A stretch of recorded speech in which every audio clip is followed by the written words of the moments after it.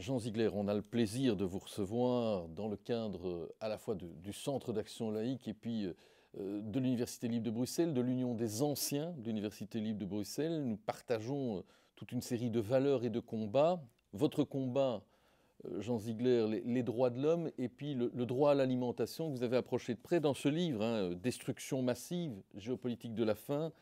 je vous cite euh, ou plutôt vous citez vous-même Amartya Sen en 1985, euh, en matière de faim et de politique alimentaire, la nécessité de faire vite est évidemment de toute première importance. En 85, Jean Ziegler, il y a déjà très longtemps qu'il était donc urgent de faire quelque chose. vous avez tout à fait raison et je vous remercie de me donner la parole dans ce cadre euh, si sympathique. La destruction de millions et de millions de personnes par an par la sous-alimentation, par la faim, par les maladies de la faim est le scandale de notre siècle. Je voudrais euh, vous donner quelques chiffres. Tous les 5 secondes, un enfant en dessous de 10 ans meurt de faim. 37 000 personnes meurent de faim tous les jours. Et un milliard sur les 7 milliards que nous sommes d'humains sur cette planète, est, un milliard est en permanence gravement sous-alimenté, mutilé, euh, par la faim. Ou un autre chiffre, vous savez que l'humanité perd de sa substance 1% par an. Nous sommes 7 milliards euh, sur Terre.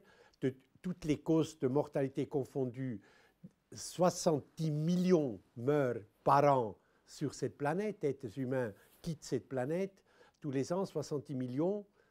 L'année dernière, 36 millions, plus de la moitié de toutes les personnes qui sont mortes, sont mortes de faim et ceci sur une planète qui déborde de richesses. Les chiffres des victimes que je viens de vous donner sont officiels, sont celles de l'ONU. J'étais pendant huit ans rapporteur spécial pour le droit à l'alimentation. Maintenant, je suis vice-président du comité consultatif des droits de l'homme. C'est des chiffres que personne ne conteste. Le même rapport qui donne ces chiffres de victimes dit que l'agriculture mondiale, dans l'étape actuelle de son devenir, pourrait nourrir 12 milliards d'êtres humains c'est-à-dire pratiquement le double de l'humanité.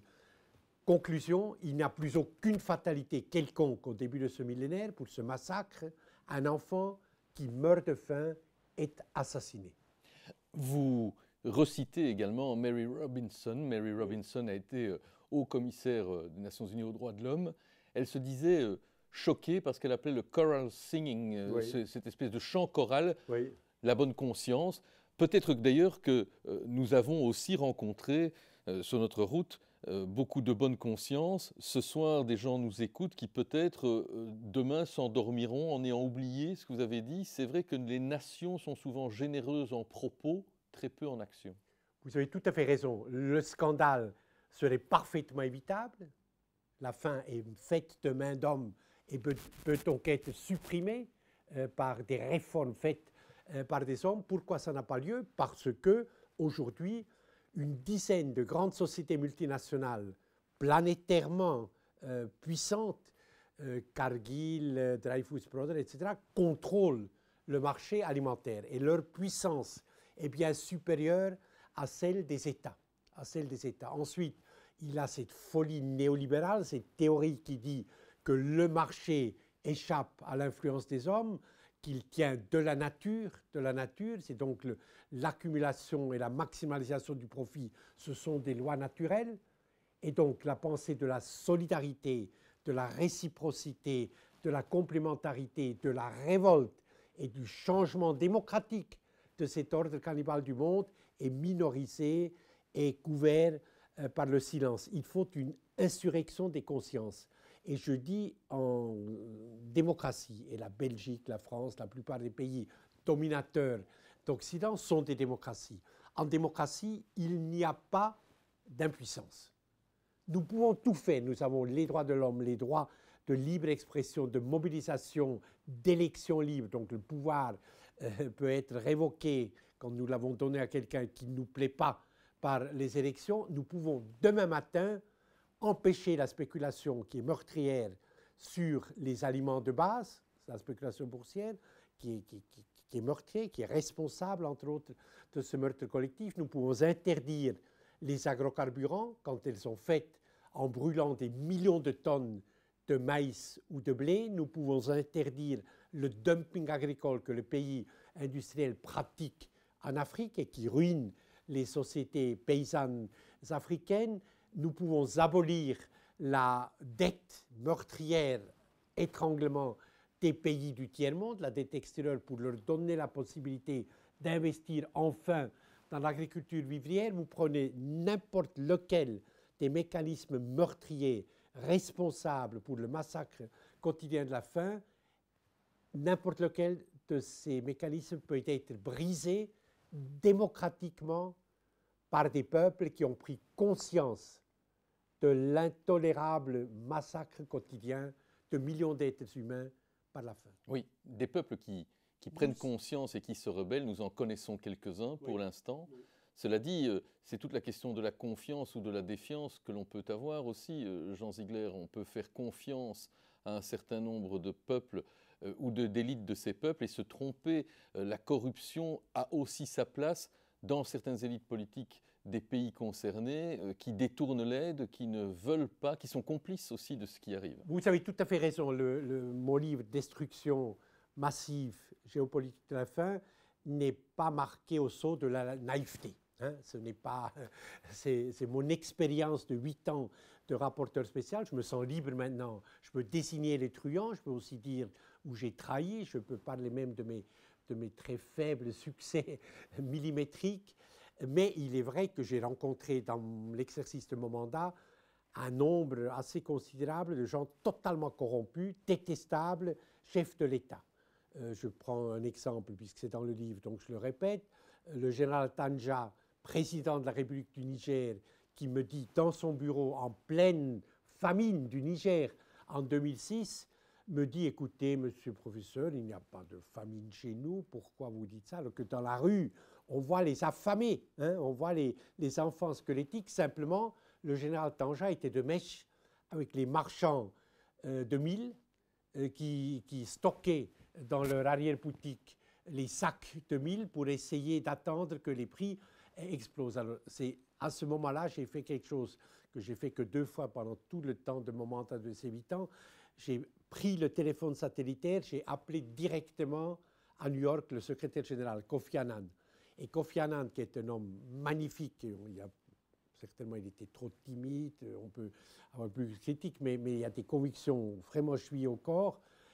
15 jours après, il est venu, lui, à, Maradi, euh, à Zender, donc au sud euh, du Niger. Quand le secrétaire général des Nations Unies se déplace, c'est CNN, BBC, ça fait du monde. Et Tanja a dû signer l'appel à l'aide, parce qu'autrement le PAM, le Programme alimentaire mondial, ne peut pas intervenir. Et finalement, l'aide est arrivée beaucoup trop tard. Des milliers de personnes au Niger sont déjà mortes. Donc vous avez parfaitement raison. Dans l'accaparement des terres aujourd'hui, par exemple, sans biais, sans la corruption du chef d'État du Cameroun, Bolloré, euh, et bien d'autres grandes sociétés multinationales ou spéculateurs ne pourraient pas s'approprier des milliers et des milliers d'hectares de terres arables au Cameroun. Donc la corruption, certainement, comme en Suisse d'ailleurs, hein, il ne faut pas, faut pas jouer aux enfants de cœur. Dans mon pays, il y a une corruption terrible, à Genève par exemple, mais enfin, elle n'est pas meurtrière comme elle l'est au Cameroun, au Tchad ou au Niger c'est vrai, la corruption, que je dénonce aussi dans mon livre, est un problème, mais c'est un problème secondaire. Même si vous avez un gouvernement totalement honnête, comme du temps de Thomas Sankara au Burkina Faso ou de Mandela en Afrique du Sud, eh bien les raisons structurelles de la faim, du massacre quotidien de la faim, que j'ai mentionné tout à l'heure, ces raisons structurelles restent intactes. Et donc c'est dans les pays dominateurs que cette insurrection des consciences doit avoir lieu pour que démocratiquement le bras des assassins soit arrêté. Et même si, et nous en terminerons par là, à certains égards, on peut avoir alors un conflit de conscience, comme vous en avez eu un, euh, lorsque votre ami Lula, euh, président d'un pays gigantesque comme le Brésil, entame un mouvement en fait euh, d'agrocarburants, de vagues vertes, que vous dénoncez par ailleurs. Vous dénoncez la vague, mais vous ne dénonciez pas la politique de Lula, ou pas immédiatement vous êtes cruel dans vos questions. c'est vrai qu'un des moments de mon mandat aux Nations Unies, dont je ne suis pas très fier. C'est vrai que le Lula, le président Lula, a initié un programme, c'est le deuxième producteur du monde, de bioéthanol et de biodiesel à partir de, du sucre, de la canne à sucre. Et a donc l'océan favorisé l'avancement de l'océan vers de la canne à sucre jusqu'au Mato Grosso, jusqu'en Amazonie, au détriment des terres vivrières, des terres vivrières, pour faire de l'argent avec l'exportation des agrocarburants. Je l'ai attaqué devant la Commission des droits de l'homme, devant l'Assemblée générale. Des amis brésiliens que je connaissais depuis le temps où ils étaient exilés à Genève durant la dictature sont venus me voir, me dire écoute, toi, tu ne peux pas attaquer Lula, le premier ouvrier devenu président, etc. etc. Regarde ce qu'il fait avec la Bolsa Familia, avec le programme Fomesero, avec la bourse familiale qui a sorti de la misère 12 millions de familles. Et je me suis rendu à cette raison et j'ai dit, comme disait Che Guevara, il faut battre ses ennemis les uns après les autres et je n'ai plus critiqué Lula. J'avais peut-être tort. Quoi qu'il en soit aujourd'hui, cette géopolitique de la faim, est-ce qu'elle va régresser ou est-ce que l'appel aux consciences arrive trop tard? Non, je, crois, bah, vous l'avez dit d'entrée en matière de, ce, de notre entretien, euh, chaque seconde qui passe est une seconde de trop, parce que tous les cinq secondes, encore une fois, un enfant de sous de 10 ans sur cette planète qui croule sous les richesses meurt de faim et détruit qui a simplement un enfant qui a eu la malchance de naître en Mongolie au nord du Brésil ou dans un slum du Bangladesh. Euh, c'est sa seule culpabilité. Et donc, il faut faire vite. Mais les processus révolutionnaires qui sont à l'œuvre dans ce monde, et je crois profondément à l'hominisation de l'homme, à, l'émancipation. Regardez ce qui se passe dans le monde arabe dans les derniers 14 euh, mois, ces formidables révolutions euh, contre des dictatures effroyables, des hommes et femmes aux mains nues par la manifestation pacifique, démocratique, affrontent les tueurs, affrontent les snipers, payent avec leur vie et finalement se libèrent. Bon, en Syrie, ce n'est pas encore fait, mais en Égypte, c'est presque fait, en Tunisie, c'est fait, au Yémen, c'est fait. C'est absolument mystérieux. D'où vient cette force? Chez nous, la société civile se renforce de jour en jour attaque Greenpeace en Belgique, très puissante. Oxfam, bah, le centre laïque a une, extraordinaire euh, euh, euh, action d'éveil des consciences, d'éveil des consciences contre l'obscurantisme néolibéral. Et donc, la révolution silencieuse, Nietzsche a dit, elle arrive sur des pas de colombe, silencieuse, est en route. Et là, nous sommes à la veille, je suis absolument certain, d'une insurrection des consciences au cœur même du monde dominateur. Merci Jean Ziegler. On, renvoie évidemment à ce livre que vous signez, Destruction massive, géopolitique de la faim, c'est aux éditions du Seuil. Merci de ce témoignage. Merci à vous.